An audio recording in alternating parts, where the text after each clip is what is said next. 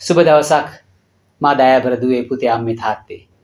අද අපි මාතෘකා ගත කරගන්නේ සාක්ෂි දැරීමේ රඟ. ඒ සඳහා මා තෝරාගත්තා නැවතත් පළමු කියවීම මේ දිනවල පළමු කියවීම තුළ අපට ලොකු ගැඹුරු ධර්මීක පණිවිඩයක් උන්වහන්සේ අපගේ භාවනාවට යොමු කරනවා. මෙහිදී අද ප්‍රධාන චරිතය බවට පත්වෙන්නේ ඒ නික්මයාම පොතේ මෝසෙස්ගේ චරිතය. දැන් මෙතනදී අපි දන්නවා දෙවියන් වහන්සේ මෝසෙස් සමග ඇති කරගත්තු කිවිසුම ඒ අරහා මේ ජනතාවව කිරියෙන් පැණියෙන් උතුරන දේශයකට යොමු කරන්න උන්වහන්සේ කරපු මහත් පෙරලිය. දැන් මෙතනදී උන්වහන්සේගේ ඒ ආදරයට කරුණාවට පටහැනි වෙච්ච මුරණ්ඩු වෙච්ච ජනතාවට ස්වාමීන් වහන්සේ ප්‍රබල ලෙස දෝෂාරෝපණයකට ලක් කරනවා. එක්තරා විදියකට උන්වහන්සේ මේ ජනතාවව මෝසෙස්ගේ පැත්තට යොමු කරලා උන්වහන්සේ කියන බලන්න ඔබේ ජනතාව මට මුරණ්ඩු වෙලා ඇත. එනිසා මම ඔවුන්ගෙන් පලිගන්නවා.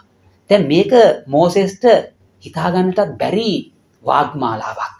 කොහොමද මේ ජනතාව මගේ වුණේ මේ දෙවියන්ගේ ජනතාව දැන් ස්වාමීන් වහන්සේ එක්තරා විදියක මෝසෙස්ව පරීක්ෂා කරනවා.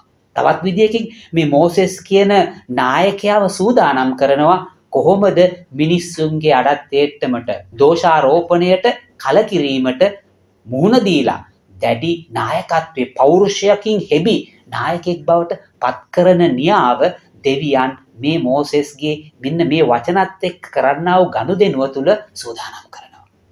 මේක තමයි ඔබට මට අද අවැසි නායක කමේ රඟ.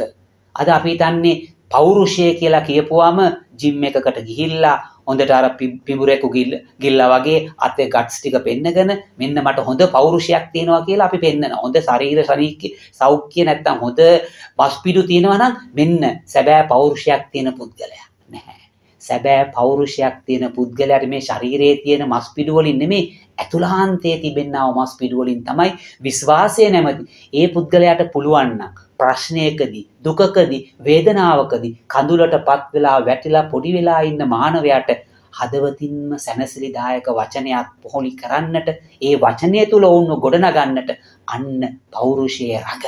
අන්න එවැනි ඇතුලාන්ත වෙනසක් සඳහා තමයි දෙවියන් මේ ජනතාව තුළින් මේ නායකයාව සූදානම් කරන්න. නිසා කවදාවත් උන්වහන්සේ මේ විශ්වාසයත් හැරිය නෑ.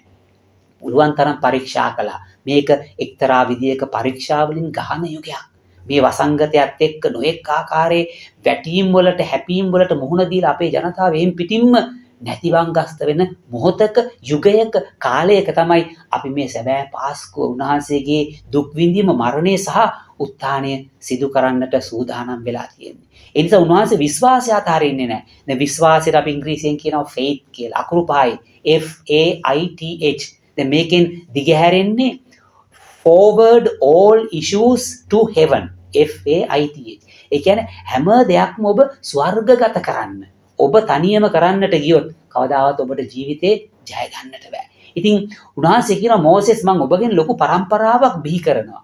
මෝසෙස් කියන්නට ඇති දෙයනේ මේ මිනිස්සුන්ව විනාශ කරලා මගෙන් පරම්පරාවක් ඇති කරලා ඇති පළකිම.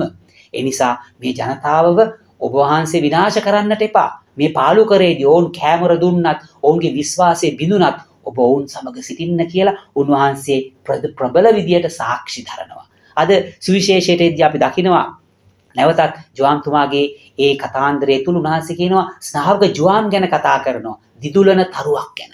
උන්වහන්සේ තරුවක් වුණා. ඒ කියන්නේ තාරකාවකින් කරන්නේ අන් අයට මාර්ගය පෙන්වන එක.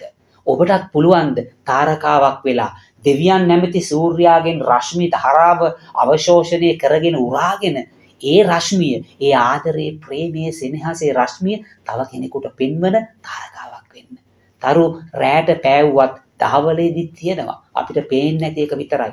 ඔබට පුළුවන් නම් ඔබගේ ආලෝකේ ක්‍රිස්තු ආලෝකේ අනිත් අයගේ ජීවිතය. ඒ කියන්නේ ඔබ මම දුක් විඳලා තව කෙනෙකුට සැනසීමක් දෙනවා නම් ඒ දුක් විඳීම ඵලබරිත වෙනවා. එනිසා ස්වාමීන් වහන්සේ කියන්නේ ඒ දුක වේදනාව තමුන්ගෙම කරගෙන ඔබගේ ජීවිතය අනිත් අය වෙනුවෙන් වැය කරන්න. ඒ නිසා තමයි මේ ඉංග්‍රීසියෙන් කියනවා you may be the only bible somebody else will ever read. ඒ කියන්නේ ඔබ තමයි සමහරවිට ජීවිතයේ ජීවිතයේ තව පුද්ගලයෙකුට හමු වන එකම බයිබලය. තව පුද්ගලයෙක් ඔබගේ ජීවිතය තුළින් කියවාවිය බයිබලය. බලන්න ඔබට පුළුවන් නම් සැබෑ ජීවමාන බයිබලයක් වෙන්න. ඒ නිසා උන්වහන්සේ කියනවා මහත්මා ගාන්ධිගේ ජීවිත කතාව තුළින් උන්වහන්සේ කියනවා my life is my message.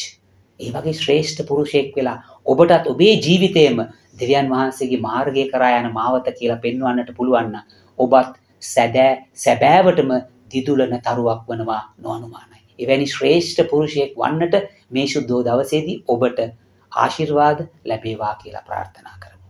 Jesus වේගයි.